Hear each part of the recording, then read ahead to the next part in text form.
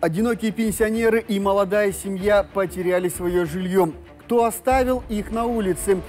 Люди с инвалидностью могут рассчитывать на бесплатную помощь в центрах социальной адаптации Тенкога, где предлагаются психологическая поддержка, юридические консультации и обучение.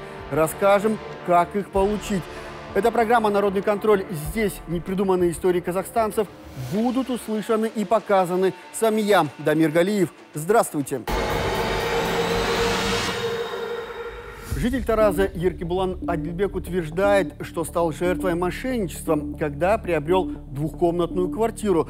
Он пояснил, что предыдущий владелец жилья заключил сделку с недееспособной женщиной, и в итоге квартиру перепродали Еркебулану, оставив престарелых брата и сестру Жанжигитовых на улице. Суд признал оба договора купли-продажи незаконными, и теперь уже молодая семья Еркебулана осталась без крыши над головой. Моя коллега Шолпан из Басар встретилась со всеми участниками этой запутанной истории. И вот что она узнала.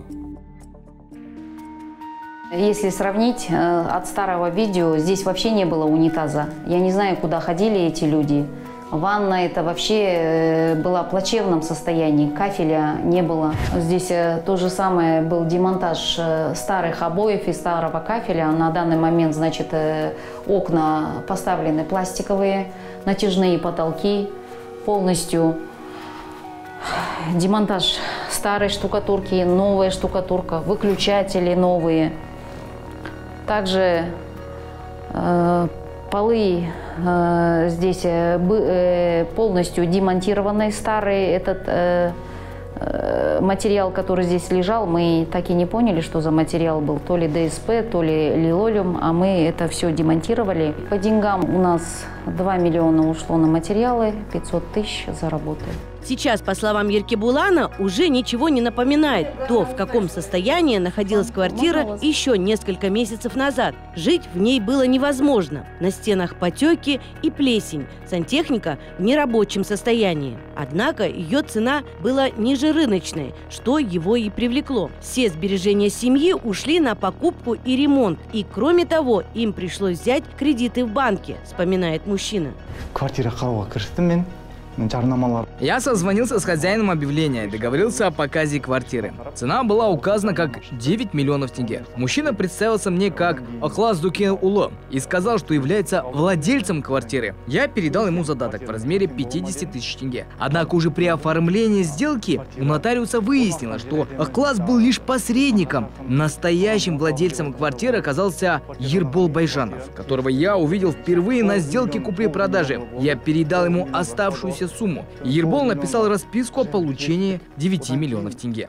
Однако через полгода Еркебулан неожиданно получил звонок из прокуратуры. Ему сообщили о факте мошенничества, связанном с его квартирой. Выяснилось, что родственники прежней владелицы, узнав о сделке, подали жалобу в правоохранительные органы, утверждая, что сделка была оформлена без необходимого согласия и правоустанавливающих документов.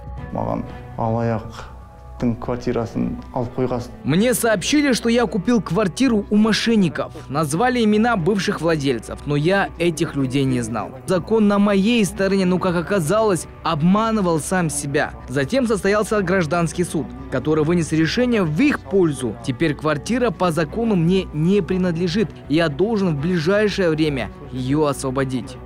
Прокуратура города Тарас подала иск о том, чтобы признали значит, э, первое, э, первый договор купли-продажи и второй договор купли-продажи недействительный в связи с тем, что значит, э, сама хозяйка, которая ранее владела данной недвижимостью, является недееспособной. На момент продажи она была недееспособной.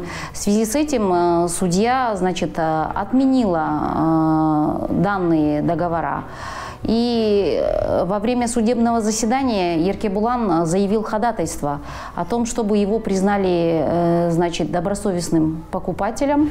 Прежними владельцами злополучной квартиры оказались пенсионеры, брат и сестра Жанжигитовы. Но уже несколько месяцев они проживали в городском центре ресоциализации для людей, которые оказались в трудной жизненной ситуации. Брату Кыргызбаю 73 года, сестре за 60 лет, и она много лет прикована к постели. Женщина – инвалид первой группы. Детей у пенсионеров нет, но, по словам сотрудников учреждения, у них есть родственники. Вот только до сих пор никто из них не захотел забрать их к себе.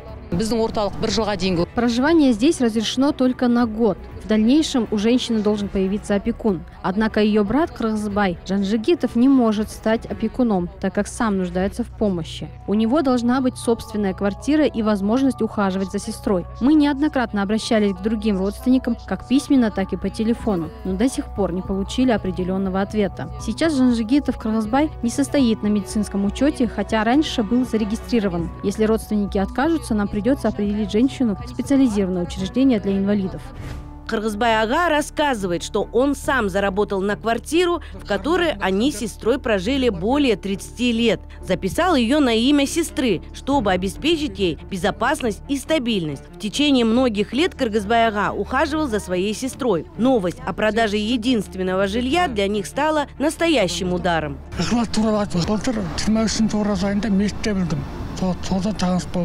С классом я познакомился в мечети в прошлом году. Он часто приходил ко мне и постоянно одалживал деньги. Однажды он сказал, что у нас в квартире много тараканов и предложил провести дезинфекцию. Под этим предлогом он отвез нас к своим родственникам. После этого мы начали переезжать с одной квартиры на другую. В итоге оказались в этом центре как бездомные. Пожилой мужчина, едва сдерживая слезы, делится, что когда он пришел в свою старую квартиру, ему открыл неизвестный молодой человек, который представился Еркебуланом и сообщил, что купил квартиру у некого Ербола Байжанова, и теперь он хозяин квартиры. Моя племянница подняла шум, когда узнала, что квартира продана. Я считаю, что виноватый класс. За него мы остались на улице. Мы даже не знали, что квартира продана. Я нигде не ставил свою подпись. Они ее подделали. Но тот самый посредник Эхлас Дукенулу настаивает, что именно Кыргызбаяга обратился к нему с предложением продать квартиру. По его словам, это было сделано, чтобы отвезти сестру на лечение в Алматы. И тогда он предложил купить квартиру своему знакомому Ерболу за 5 миллионов тенге келісті уже үйді көріп шықты Он осмотрел квартиру и о цене договаривался с Кыргызбаем Ага. Ербол оплатил коммунальные долги за квартиру около 500-600 тысяч тенге. Я видел, как Ербол передал Кыргызбаю Ага 1 миллион тенге, но как были переданы остальные деньги, я не видел. Я получил свои деньги за посреднические услуги. Ербол пригласил своего нотариуса и оформил сделку. Через две недели он продал квартиру Еркибулану. После этого Кыргызбай Ага с племянницей подали на меня заявление в прокуратуру, утверждая, что я под предлогом дезинфекции вывез их из квартиры и продал ее. Сейчас уголовное дело возбуждено только против меня, но я считаю, что виноват не только я. По моему мнению, Ербол с нотариусом провернули эту сделку, а Кыргызбай Ага лишь притворился, что не продавал квартиру. Но вот Ербол Байжанов, первый покупатель квартиры, имеет совершенно иную версию событий, чем посредник Эхлас Дукенулы. Он рассказывает, что познакомился с Эхласом, когда работал таксистом, и тот представился ему не как Эхлас, а под именем Диас. Ербол утверждает, что именно Диас предложил ему приобрести квартиру, якобы принадлежащую его родственнику бірінші үйді көрейік үйге барсам үйдің состояниясы енді Квартира была в ужасном состоянии, дышать там было практически невозможно. Но меня привлекла низкая цена. Кыргызбай Ага сказал, что опекун своей сестре и может подписывать документы за нее. На вопрос, где они будут жить, он ответил, что благодаря Ихласу получил социальное жилье от государства. Чтобы я поверил в честность сделки, Ихлас позвонил своей матери, и она сказала, что они родственники с Кыргызбаем, и подтвердила, что сын присмотрит за ними. Я передал старику 1 миллион тенге и оплатил 600 тысяч за коммунальные услуги, остальную сумму по просьбе класса отдал ему. Ербол Байжанов решил выставить квартиру на продажу за большую сумму ее первоначальной стоимости. Спустя две недели после покупки ему позвонил Хлас и сообщил, что у него есть потенциальный покупатель на жилье. Позже я узнал, что и класс без моего ведома сам размещал объявления и брал задатки у людей, после чего исчезал. В нотариусе я впервые встретил Иркибулана. В объявлении была указана цена 7 миллионов 200 тысяч тенге. Иркибулан рассказал мне, что все это время и класс выдавал себя за владельца квартиры и взял с него 50 тысяч тенге в качестве задатка. Мы с Иркибуланом немного поторговались и договорились о сумме 6 миллионов 700 тысяч. Эти деньги он отдал мне при нотариусе в присутствии своих друзей, однако в договоре мы указали сумму 9 миллионов тенге. Ербол Байжанов готов был вернуть Иркибулану Адлибеку 6 миллионов 700 тысяч тенге. Однако Еркибулан настаивает на компенсации полной суммы, указанной в договоре 9 миллионов тенге, так как он понес расходы на ремонт. Ербол считает себя добросовестным покупателем и возлагает вину за возникшие проблемы на посредника Хласа Дукенулы, обвиняя его в мошенничестве.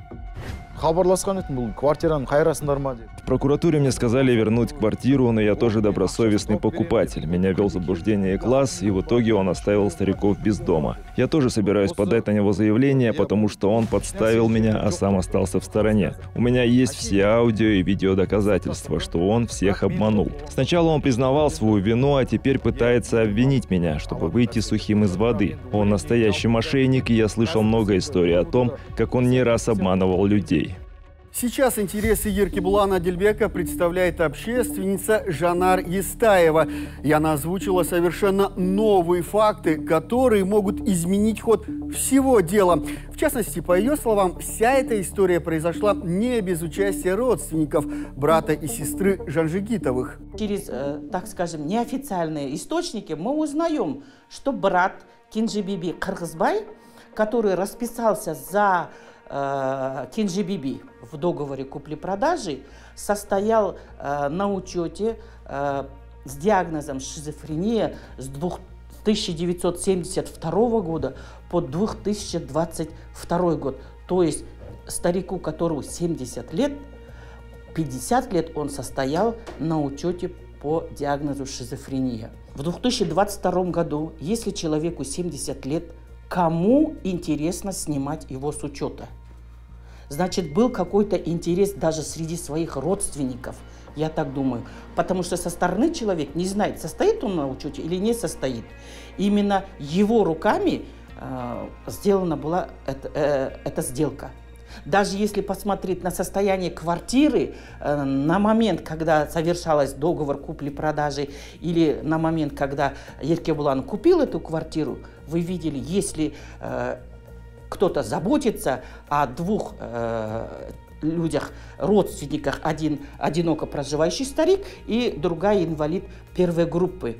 Там же не видно, что родственники, э, кто-то из них помогает. А здесь э, появились э, такие родственники, которые прям реально сейчас э, решили подать заявление в прокуратуру. Эти родственники знали, что это э, договор купли-продажи в конечном итоге будет э, признана недействительной, и эта квартира снова вернется. Еркеблан Адельбек обратился с заявлением в прокуратуру с требованием привлечь виновных лиц к уголовной ответственности и признать его добросовестным покупателем. По его словам, сейчас заявление находится в полиции, но вот только Еркебулан считает, что правоохранительные органы не спешат с расследованием его дела. Мы будем следить за этой историей.